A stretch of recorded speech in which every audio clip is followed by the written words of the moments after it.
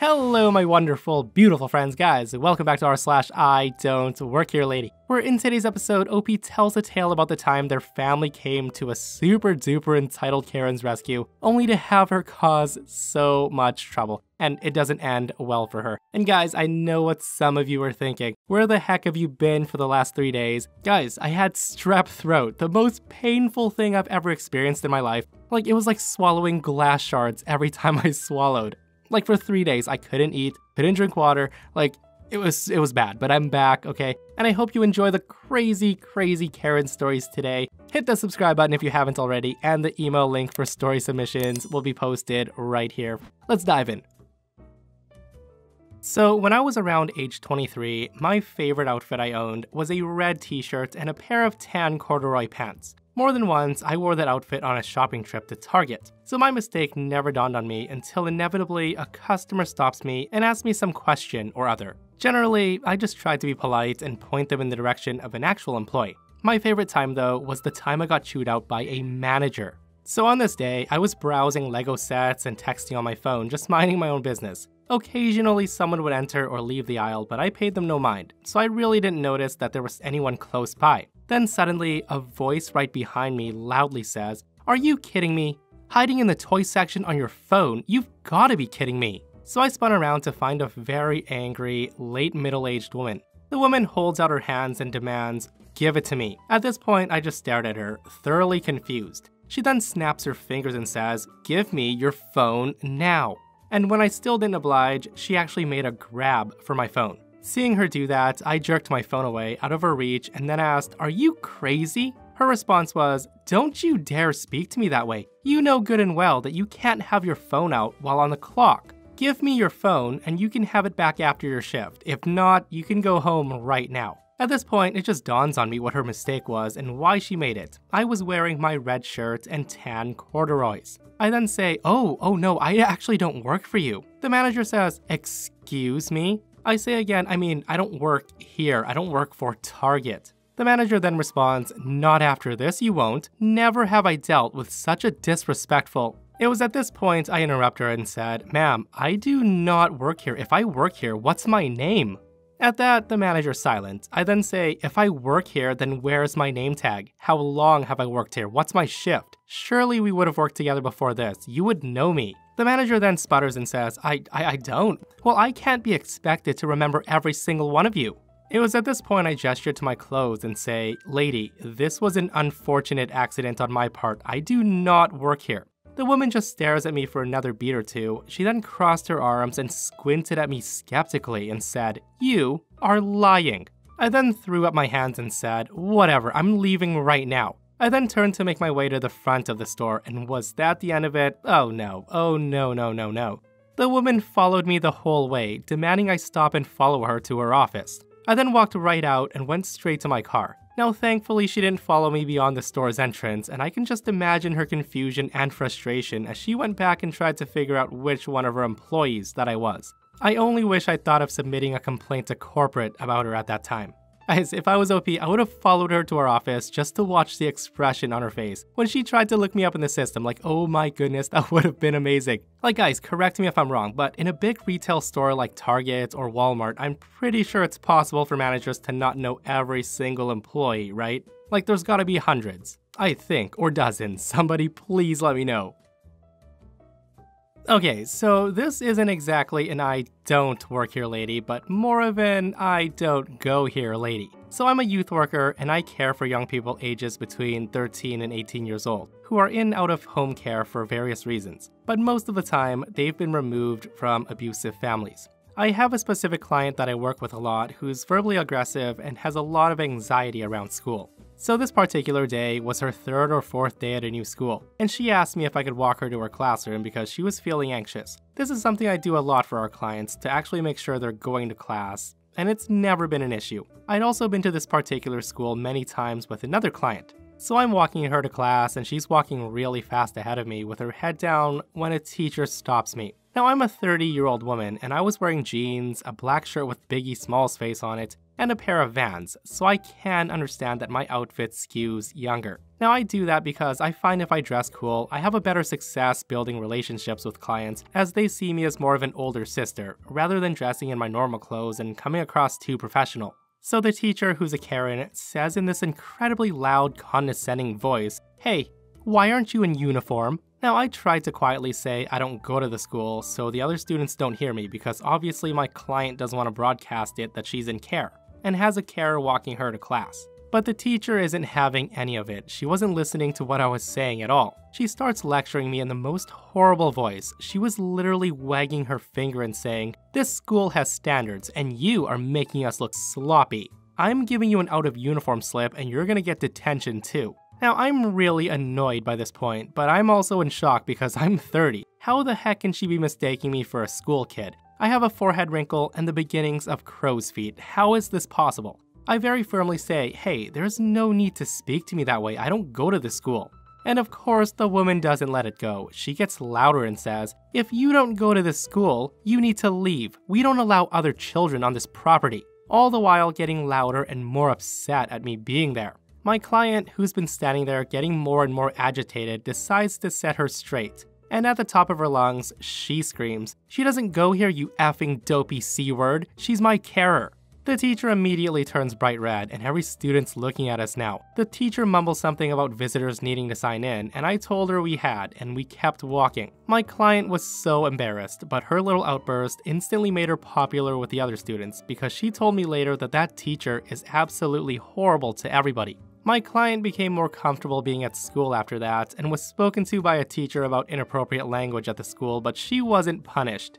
Now guys, as much as I dislike that it had to get to the point where the teacher was called those names, I'm actually happy to hear that the little outburst gained the students a few more friends, made her a little bit popular, and best of all, boosted her confidence and made her feel comfortable being at the new school. So yeah, the moral of the story is if you feel uncomfortable at a new school, just pick a teacher that everybody hates and call them a dopey C word.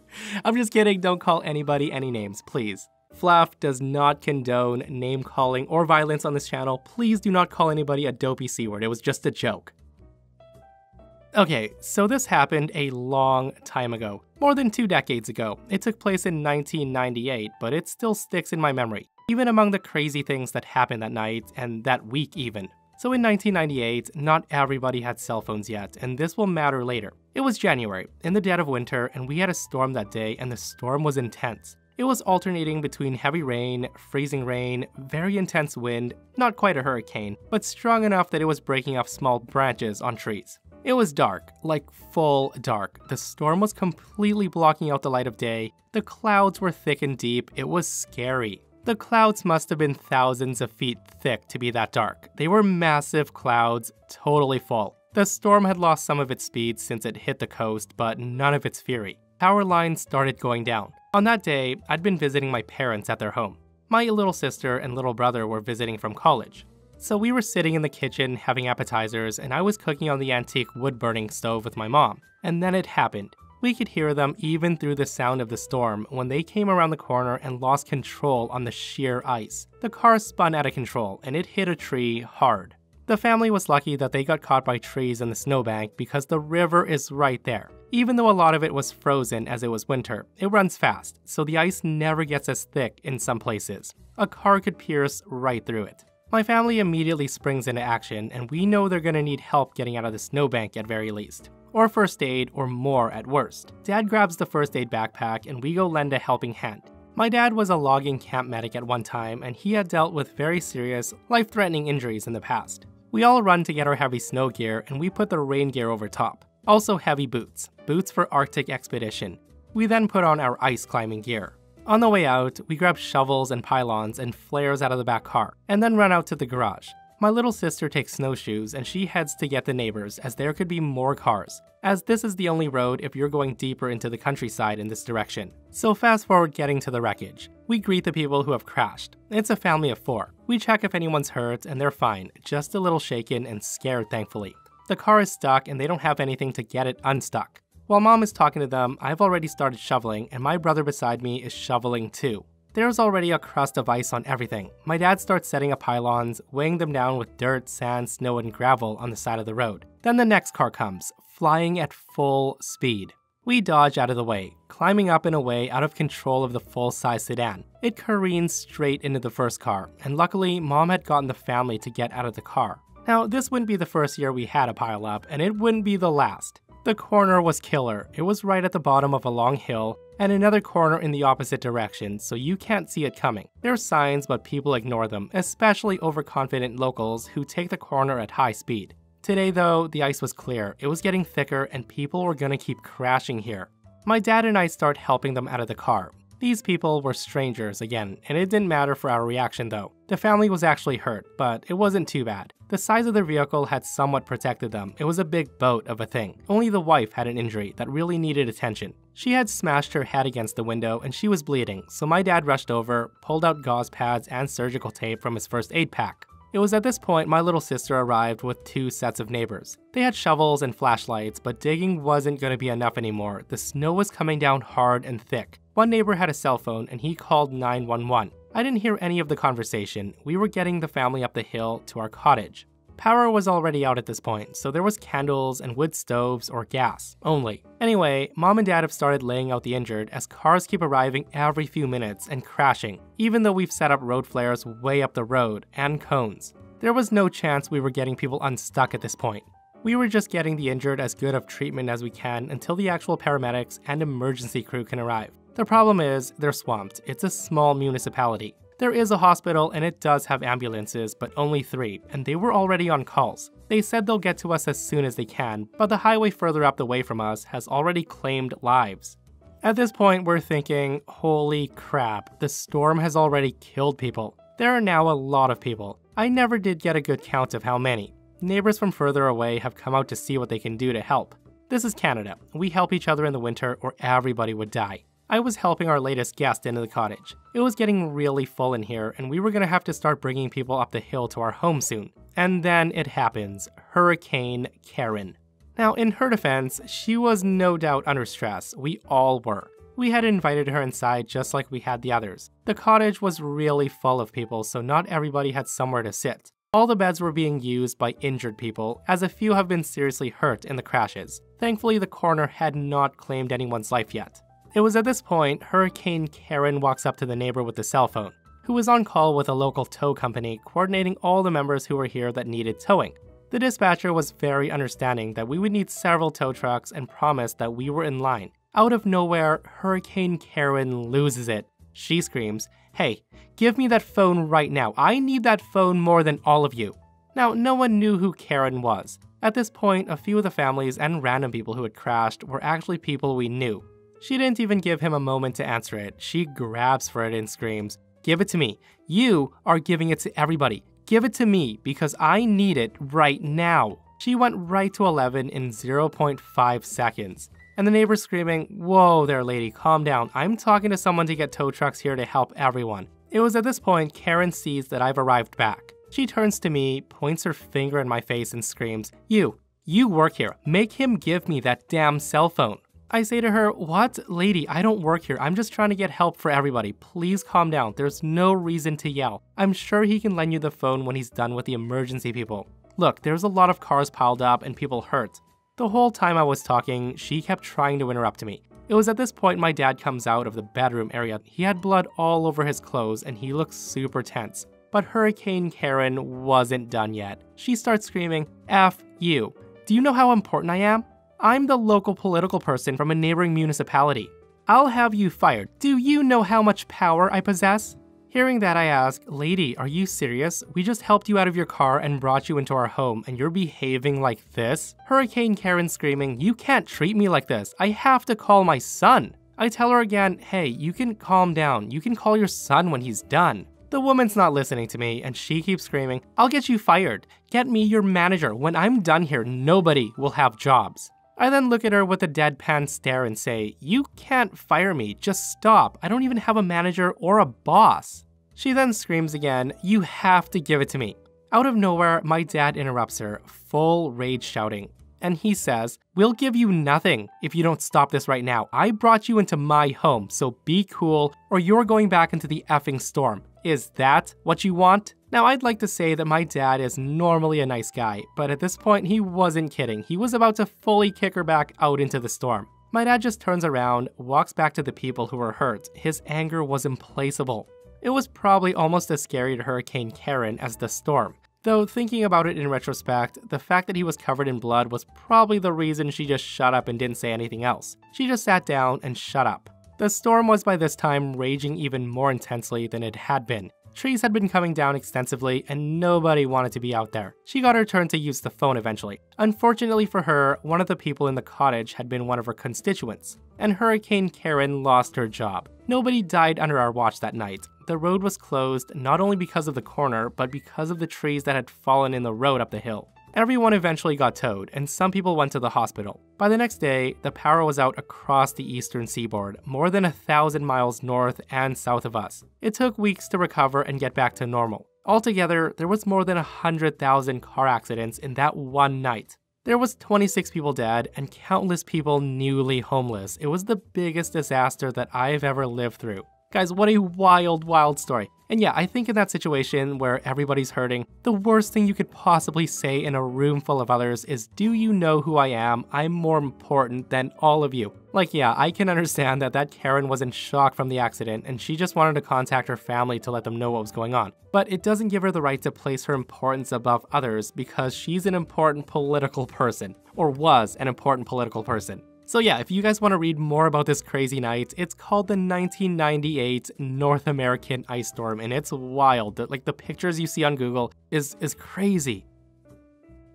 Okay, so I'm a 28 year old doctor that lives in India. My specialty is in clinical chemistry and laboratory medicine, so I usually don't interact with patients much anymore. This happened during my specialization training, and it still makes me shake my head. So my colleague and friend in another department suddenly developed seizures in the middle of the night. Her husband contacted me, as I often helped her before they were married, and I was taking a midnight stroll in the campus as I was on call for the lab.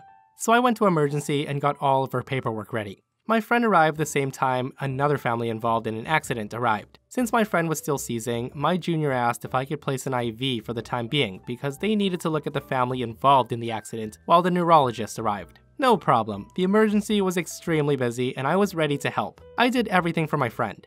One of the nursing officers hands me the anti-epileptic drug while her husband stayed by to make sure she's comfortable. Then suddenly, a crazy Mother Karen taps me on my shoulder saying, Hi, can you help me? I say to her, Hi, sorry, I'm not an emergency department doctor, but I can guide you to whom you should see. She then looks at me and says, Aren't you a doctor? I say, um, yes, but I'm not a part of the emergency department. I'm here for my friend. It was at this point she says, So, since you helped your friend, can't you take a look at my child? I say to her, I'm sorry, but I can't. I can't take responsibility as I'm not a part of the emergency team, and I'm not even posted here. When my friend gets better, though, I'll ask her to take a look. The woman then says, But you helped your friend. Help me. I tell her, Yes, because the team is busy with an accident, and since it's my friend, all I did was set an IV, so she'll be stable until they can come check up on her. Now, the woman wasn't listening and she says, So why can't you help me? I'm tired of waiting and my child is uncomfortable. At this point, I'm tired and say, Lady, I'm not an emergency doctor, nor am I on duty. I can't help you or take responsibility should something happen. Please wait for the emergency doctor to be free. Why don't you go to the registration counter? They'll ensure someone looks at your child. Again, she ignores me and screams, I can't leave my child alone. Just go take a look at him. I need you to look at him. He fell down and he's crying. She then grabs my arm and drags me, saying, You will see him right now. My friend's hubby was pulling me away and blocking the mom, saying, You'll leave her alone. She's not a part of this team, so stop harassing her. It was at this point that Karen screams, Help! Help, they're assaulting me!